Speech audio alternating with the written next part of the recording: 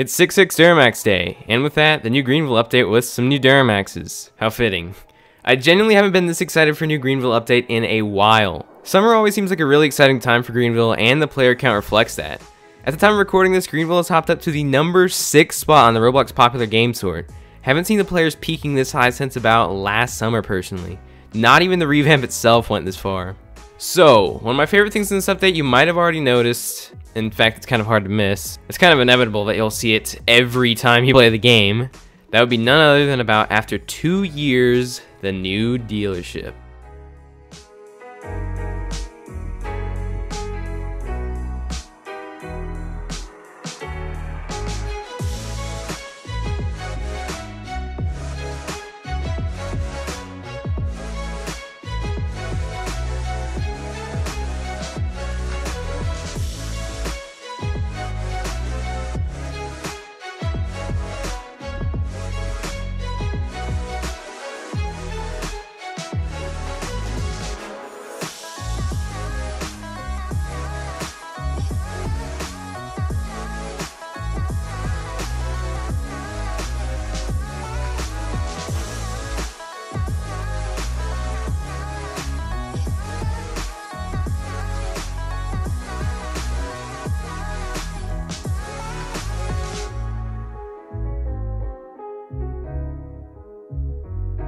This new dealership is one of my favorite things in this update. It's so nice. It's so appreciated. Because finally, we have a new dealership. Like, the last one was here for so long. I was kind of getting bored of it. It was kind of dated compared to some of the buildings in game 2, but now it's looking real good. I was hoping that the parking lot would also be a little bit changed up, be a little bit more uh, diverse-ish, and kind of slanted like how it is in real life in terms of the exit, because before it was just straight out and it was kind of, you know, boring leaving. The parking lot itself looks a lot better. Plus, the front here this whole water section has been redone. There's actually a car up front on display. There's some rocks on the side of the water here too to kind of decorate it up a bit. There's a lot more shrubbery and everything on the sides here. Got three American flags up front permanently, no longer just the side of it's American themed. I guess that was kind of the destruction of the last dealer, just got American themed and then, you know, that was the last hurrah to it. Got a bunch of cars out front, which I'll get into later because that honestly might be my absolute favorite thing about this update. But going inside here, it's so tall. It just has a huge presence. The dealership's just getting bigger and bigger. GV2, we literally had no dealer. Then we went up to a small dealer. Then like half a dealer in GV3. And then they expanded it in the revamp and now we have have this, which is just huge. So many glass panes and windows and yeah, so many things in here. There's like desks and chairs and like plants and water things and this is really detailed. Just everything. There's so many pictures in here too. There's so much detail, like the little details. The office is back here. Looks really realistic. There's a hall down there. Go down there later. So many pictures on the wall where you take delivery of your vehicle or whatever too. And I guess we are back in 2006 where they're doing a PPI on this um, Silverado. But got the roadmap logos up there. Even the top of the ceiling and everything, that's super detailed too. Drainage systems here on the side, in the middle, like the fire station. Big fan. Looks realistic and it's gonna be really fun to do like some dealer-oriented role plays. Bunch of pictures around here. This room, roadmap, like the city and stuff. I don't know. There's a bunch of random pictures on the wall. There's that same one. More stuff over here. I don't know what this door leads to. I'm assuming outside. Oh, that's literally nothing. Through here, got the printers, cubicles. This door leads to here. Oh, yeah, this is the main hallway. Then out here, it's also blocked off. But anyway, going back up for, oh, this is actually a really cool lounge area. Guest lounge. Hmm. Some more offices. And all the pictures out in the front room are pretty cool. Even got the picture from the Halloween update that was on the thumbnail. Another old thumbnail for the game. Uh, what else? Oh, that's another old thumbnail right there. Uh, some of these I don't really know where they're from. Kind of reminiscent of some older stuff, kind of reminding you of things.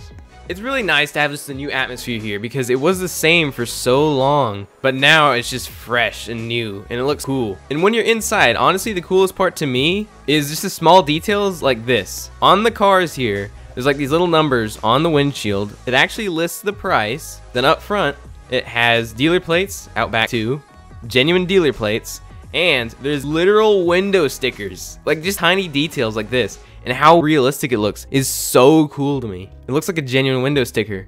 It gives the features, gives the actual price you can buy it for in game, gives you the fuel economy, you know, fuel type. And then these extra things here, which are not actually filled in since there's no real, you know, crash ratings in game. All vehicles sold at this roadmap location are provided with basic motor vehicle warranty, valid until initial departure of the dealership parking lot. So um, you basically have that warranty for like five minutes. Nice. Now, something really cool that has to do with that is the dealership interactive job.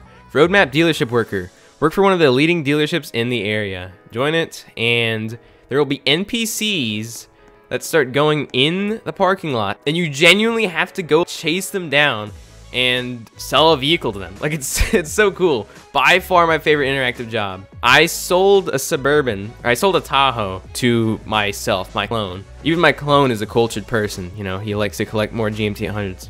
All right, what's this lady want? Get her in this uh, Maxima or Altima, whatever this is. When you're over here, it pops up the window sticker, so you can remember all this stuff, and it actually says on the lot, you know, the window sticker on the car, really cool. And every server, it's different. It's not just the same thing for the entire game. Like, you're not just stuck selling the same cars over and over and over and over again. Every server, it's like prop cars. When you join a new one, there will be different cars in different locations. So it's really cool. I like that. I think Silas actually mentioned to me that he thought that would be pretty cool, and I had no idea this was coming. So really pleasant surprise. Bring this customer into the dealership and remember the car specifications. So I have to remember all this. This car probably has like a thousand billion trims, so I don't think I'm gonna remember any of this, but let's try it. It's an SV 2.5 all-wheel drive with these wheels. Okay, it's black. Then you gotta lead them to the dealership front desk. You have to walk kind of slow. Well, I mean, you don't have to walk slowly, but they take a while because they can't run. They just walk at normal speeds. Come on, walk faster. no, but seriously, this is so cool. The fact that you have to go out into the parking lot and just kind of flag them down, basically get them in the dealership. And if there's actually multiple people on the job, you probably have to fight other employees too. Oh yeah, so once they're at the front desk, then this pops up on your screen, and you're supposed to put in the actual right car.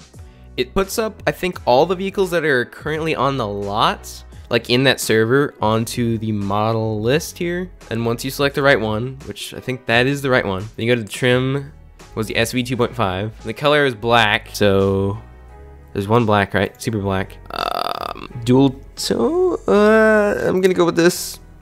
Come on. Ah, no, I did it wrong. Customers decline the offer and they just walk away. I'll have to find another customer. Let's do this again. It's actually cool. I found myself just playing with this, messing around, trying to get customers for like 15 minutes or something. Just, you know, having fun. This is genuinely really cool. Oh, it's me, it's me, it's me. What are you gonna buy? What are you gonna buy? My clone. Buy something cool. Oh, you're buying a Prius. Are you serious? Well, I already sold my clone two Tahoes, so 55 MPG. All right, let's sell this Prius to myself. Let's go. Come on. I know you can walk as fast as I am. You're literally me. Go a little faster, please. Just walking straight through the bushes, you know. Absolutely no care given. Um, so 2006 Vellfire. Uh, think it's. How am I supposed to know what trim it is? Oh, actually, it told me. I probably should have paid attention to what it said. The rims. Um, is that good? Oh, come on! Oh, well. Well, let's see if I can actually get a customer to buy a car for me this time. Oh, it's me again! Okay. Come on. Get something cool. Come on. Don't get a don't get a journey. Oh my gosh, why? Why are you getting a journey? Piece of junk. Trying to hop on the car? What are you doing? Can you just like lead them around to random places in the parking lot? Oh no, they actually go where they're supposed to. Wait, no, they don't. I can just like lead them aimlessly. All right, let's test this out. If I just like walk off the dealership lot, will they despawn? Or will they just like endlessly follow me? Are they just gonna walk around the... Oh, okay, yeah, they despawn. Is that me over there again? Oh no, that's some random guy. All right, what does he want? I don't think these cars out front, like the MDX and this LX, I don't think they're actually registered as genuine cars that you can sell to people. This is really cool though, looking at the window sticker. 527. I like that feature a lot. Alright, let's try to sell this Prius again. Failed on the last offer. Okay, this is the color. And then, okay, it's a base. Let's successfully sell a car. I don't got all day. It's about to close. Alright. Let's change the color to this. And will you buy it? Ha ha! There we go! Alright. Does he want the keys? Or like... That's his deal, I guess. Now for the last thing related to the dealership remodel, we have a new paint shop. No longer is it on that side over there where is the body shop, I guess is what it's called, which is different than the paint shop. There's some signs to guide you over to it. It's pretty much just in the back. This part of the dealership existed before, but nothing was ever really there. Well, nothing you could go into. It was blocked off. But now it is the paint shop. Got the two Mustangs there, of course. Roll up in here. There are three lifts, pretty similar to how it is in Tires Plus. Same old paint UI that we had before, but now you can actually preview the paints. Before you could not do this, and I know it drove a lot of people crazy. You'd be wasting your money, you know, figuring out if it even looked good in your car at all. Same thing goes for premium paints and everything. So I have not purchased this at all yet. And I back up and goes back to normal since I never bought it. Inside the paint shop here is so huge. This part of the dealership itself is probably about the size of Joe's, if not bigger, if I'm being honest with you. Huge roadmap logo right over here. This door leading into the actual dealership, the front area. Got some tires stacked over here, some more lifts, a bunch of support posts in the middle, some pictures on the wall, FJ, another FJ over there, picture of an IS in front of the energy store, BMW at the park, more tires stacked and more tires and a humongous fan. And to just kind of wrap up the dealership review, Outback has also been redone, the parking lot. There's a lot more spaces here than before. This part right here, you can actually drive up into it. This is where the bunny's lair pretty much was. Well, actually the bunny's lair is in the park, but his uh, his mission spot, if you know what I mean. And then right here connects to Top Dog Printing. Well, used to be called Top Dog Printing, now it's the Homer building. That covers the dealership, super duper cool. Really happy to have like a new atmosphere when you first join the game. That old dealership was there for so long, probably one of the main things that I was wanting changed in terms of buildings, and we got it. Now next up on my agenda of cool things in this update is right by the Fox Mountain Bank, there's a new neighborhood, Lakeville has a similar sign to the 6000th neighborhood. There's, well, there's a lake right here. Another one. It's on the smaller side. It's just a nice, you know, community lake. Go swimming in it. The water's really low down compared to the actual, like, uh, top of the pebbles here. My favorite part of the lake is actually probably just the parking lot sloping down, if I'm being honest. Just Saturn it's not part of the update, but recently got updated, so now it has, uh, I think, new sounds. The exhaust tip is kind of rusty and falling off, and also it's squatted. Also has funky suspension, so, you know, there's that. But my favorite part about this neighborhood here is this house right here. This house is so cool. I remember there was a house near the Cinex neighborhood in about uh, late GV2 that had a super long driveway and it was just, you know, a normal house. I kind of think this is sort of the successor. It just looks like it's pretty much on maybe about an acre of land-ish. You know, there's some more land over here. I don't really know where the property line ends, but this is pretty much right next to the action, but just enough off the road. I feel like a great compromise between six houses and the two houses down over there by the Cinex intersection. You get to see everything going on right there at the edge of your property, but you also have a little bit more privacy like six houses does. So plus you get like the benefits of the farmhouse with a bunch of land. So this is definitely one of my favorite houses in the game now. Lots of room to mess around on here. And I don't know if Heen fixed this yet, but you were literally able to fall through. Uh, Heen fixed it, yeah. Because I fell through when I first came to this house. I literally just fell into the bottom of nothingness. Oh my gosh. that was fun. And of course, that's still not all for this neighborhood. Keep going down. Messed up road here. But there's a couple other houses. There's also this parking lot for the lake. Second one. Wait, that's an exit. Oh. I'm assuming these are probably going to turn out like the lake houses. People are going to use them and think they're like amazing for about a week and then probably is not going to be used, which is kind of sad. Oh, I didn't even know this is here.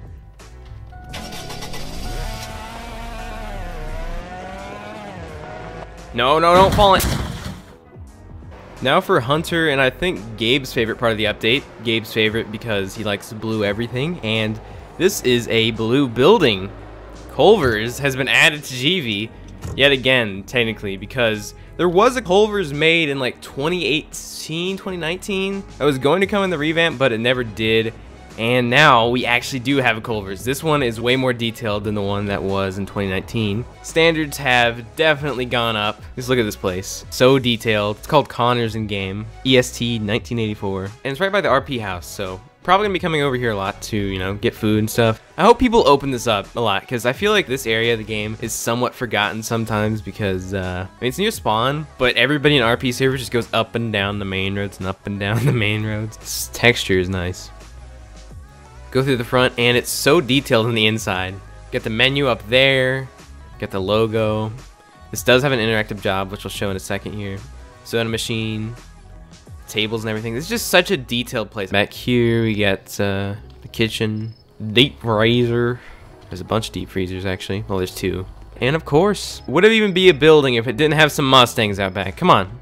I mean, it's got two Mustangs, and then over here, got the air conditioning units. Great for summertime. Got the menu right here, speaker, and then the interactive job. I mean, it's probably what you expect it to be. I mean, it's pretty much the same as all the other interactive jobs for fast food places. There's a pretty good selection of interactive jobs now. Although I gotta say, the dealership worker job, by far my favorite. It's just so cool. You know, just NPC comes up, order some food, put into the cash register. And they actually fixed this here. It was broken for a while, I think, at least for me. Boom. Then, uh, where's the tray? Am I crazy? Oh, here's the tray. Oh, also, there's like steam coming out of here. Uh, yeah, that was what she ordered. Okay, that's Culver's. Oh, that's me again. Oh, well, he's he's no longer here. Probably my favorite thing about this building for no reason at all. I just really like the drive-through. I like the sidewalk work. What is up? What is up? And then uh, you're right here. Your food. And the drive-through does work in here, as you'd probably expect. That's Culver's. Next up, the new apartments have been added. Well, kind of. I was confused when they first were teased on where they were because I could not figure it out. Like, I was thinking they were going to be where the old ones were in GV3, but the surroundings didn't quite match up. Now I figured out where they are, and you'll probably see them in about three, two, one. Yep, there they are. Right here on the hill behind this big farm. Kind of out of the way. It's not that difficult to get over here. It's really up there on the hill. These are definitely the biggest, by far, buildings that have been under construction. Well, like in under construction stage in GV. Maybe Mr. Uh, construction Man's gonna break his uh, construction skills back out after crushing the Super Duty. You know, the last one. I got a new one now though, so don't worry about that. It just looks like kind of a true construction space with, uh, you know, no workers as probably usual. So much going on here.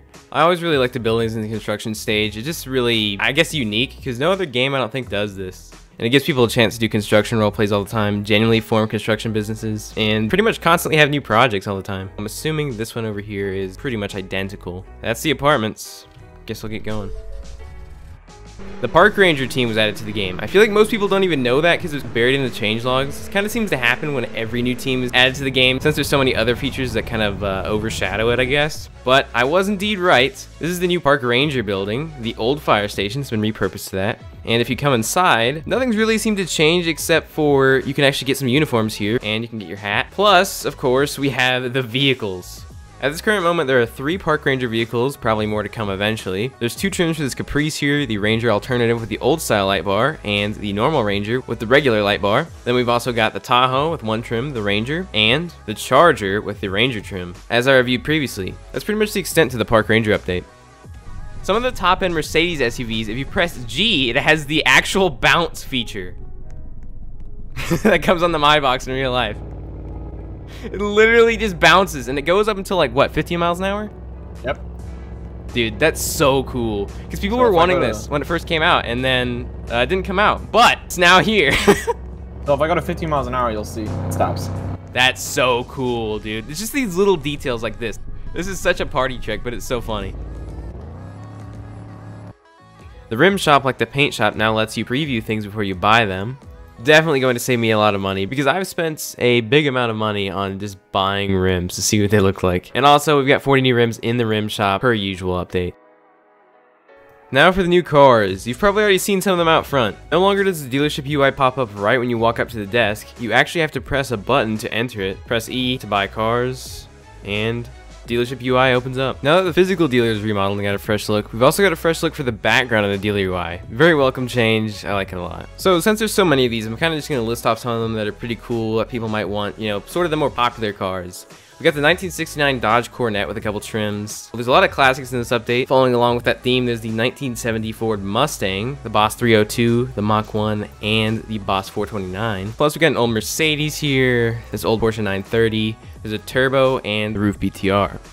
1991 Jeep Grand Wagoneer, Two surprise cars. I know Hunter wanted these to be surprised. It was never posted anywhere. Nobody ever reviewed it either. The 1993 and the 1995 Toyota MR2s. The 1998 Mitsubishi Eclipse was refreshed. Probably not quite as much of a sleeper anymore. It's probably more balanced out, but I couldn't tell you. The 2001 Pontiac Aztek was remodeled, you know. Very nice looking car. Um, we also got the 2003 as well. The 2007 Bugatti Veyron was finally remodeled. I know a lot of people were begging for this car to get a remodel because it was probably like the most outdated expensive car in game and now finally it's up to par with the competition. This thing has been remodeled and of course the one that people actually care about probably is the 2015 version with the updated lights and more trims. The top trim cost $2,250,000. Top speed is 264 miles an hour 2017 Lexus LX was added. The 2017 WRX refresh was finally added. This thing took a while because I think they refreshed it again minorly after the initial refresh and now it's here. The i3 was remodeled. There's probably someone out there that's like, oh my goodness. Got some new Mercedeses, you know, they go bounce, bounce. And RS7, new S7 too. The 2022 BMW X5M competition. Telluride was remodeled. Some people were definitely wanting this because it was pretty outdated and uh, somewhat of a popular RP car. I saw it from time to time. And of course, we've also got the 2022 Acura MDX. I was actually kind of excited for this. It looks pretty nice. Now moving on to definitely the coolest part of this update, especially vehicle-wise. The GMT 800 Silverados have been remodeled. My favorite trucks in-game, and well, just in general, have made a return with a lot of options. When these were first added to the revamp like a year and a half ago, they were the most customizable trucks in game, talking about the cat eyes. And now they're probably the most customizable platform in game. You can never have too many GMT 800s. I think Hunter was losing his mind, probably ripping out his hair. How many GMT 800s? Not gonna get too ahead of myself, so I'm gonna start off with the flat eyes. The 2002, previously 2001 1500 Silverado. This thing has the LS beater, the extended cab. Here are the specs on this thing. This one has the 5.3, I believe. That's so cheap. I'd say it's worth it. I don't know where you're buying one in real life for that much money these days, but yeah. The WT 4.8, so pretty much a base model with the 4.8 and it's extended cab. And we got the LS 4.8, so a little bit higher trim. I like those rims. And we got the single cab WT 5.3, the LT 5.3 two-tone extended cab. This one might be my favorite 1500 02, probably right next to the beater. This one's really cool. I like the two-tone. And we've also got the LT Quadrasteer HD, so it's a 1500 HD with four-wheel steering, $23,000. You never see these trucks. Super duper rare. Oh yeah, and we got the LT 5.3 extended cab. There's so many. They keep going. Here's a comparison of the WT single cab 5.3 before and after the update.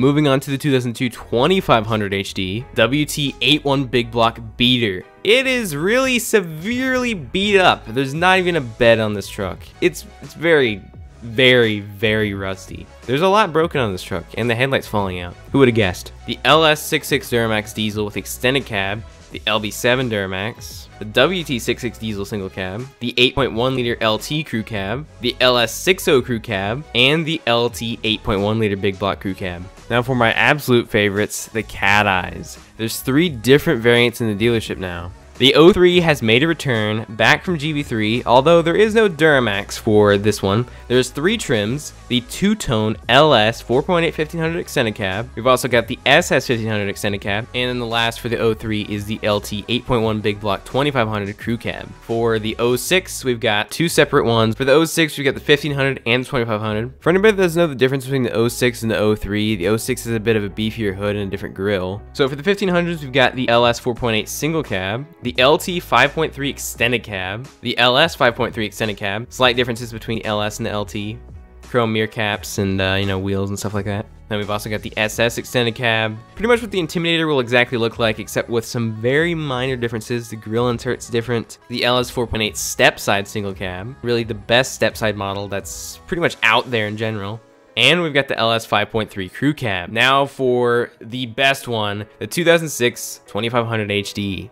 We got some trims here. The Work Truck 6.0 extended cab, just all blacked out, you know, base of the base model. Then we've also got the Work Truck 6.6 diesel single cab. Short bed Duramax single cab. Gonna make for some cool builds. I'm buying one. Get the LT 8.1 liter big block crew cab, the LT 6.0 extended cab, and my favorite, my truck, which can be identified by the black door handles. Nice touch. The LS 6.6 diesel crew cab.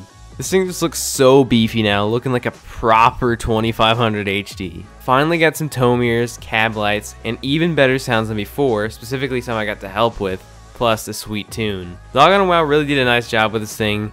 Here's a comparison of it to the original, the previous one, and now the brand new one.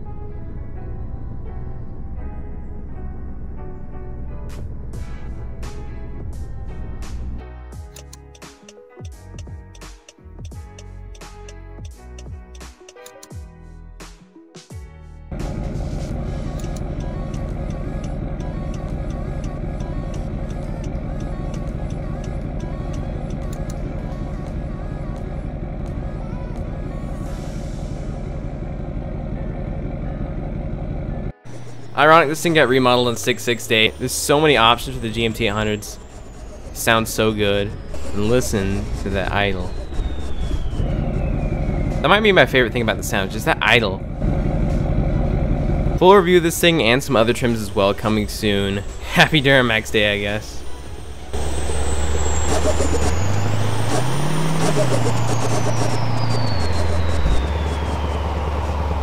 The 2008 Nissan Altima has been remodeled, and uh, it has the, you know, typical Nissan Altima driver spec as a trim. Uh, there's also the SE 3.5 manual, the SE 3.5 CVT. There's also the 2.5 SL and the 2.5S. The 2.5 beater, though, literally half the grill is missing.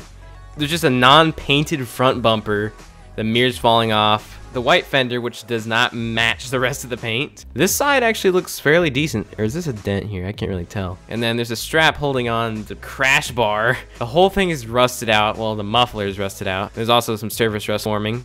Rust underneath the taillights. The trunk is just completely crushed in and it's a little bit squatted. Just typical Nissan Altima driver things. You can finally, you know, properly drive like a Nissan Altima driver in GVRP and look the part too. Here's how it sounds.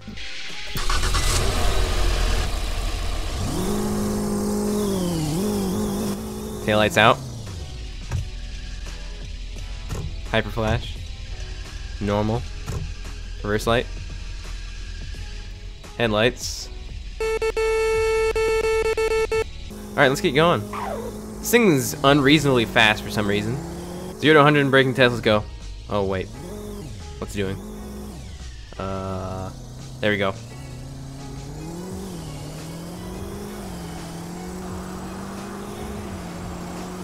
Wants to turn that way.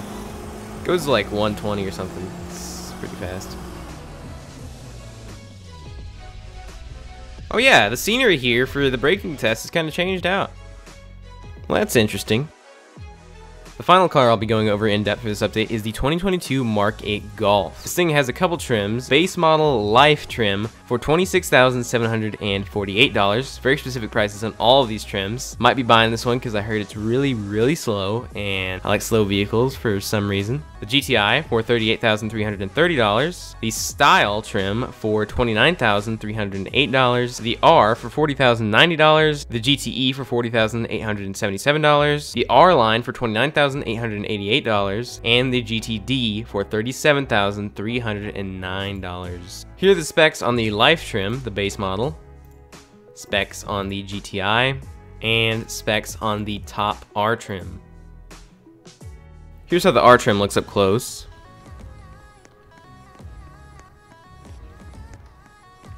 And here's how it sounds. Look at those exhaust tips. Super detailed.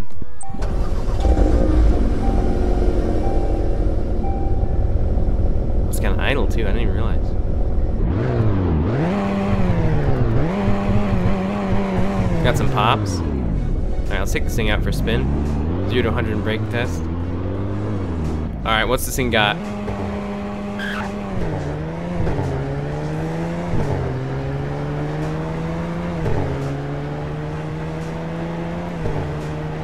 Pretty quick. Gets up and goes. Behind the brakes? Oh, pretty good.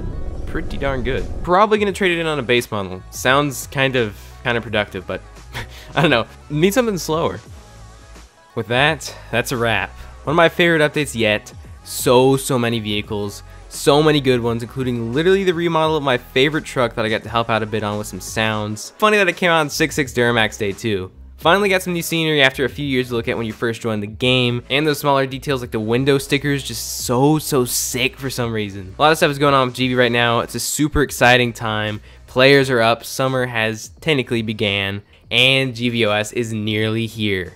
Get hyped, this coming weekend, GVOS phones are finally dropping in game via a live event. Very curious to see how the live event will pan out and how everything with the phones will work. Thank you for watching, see ya.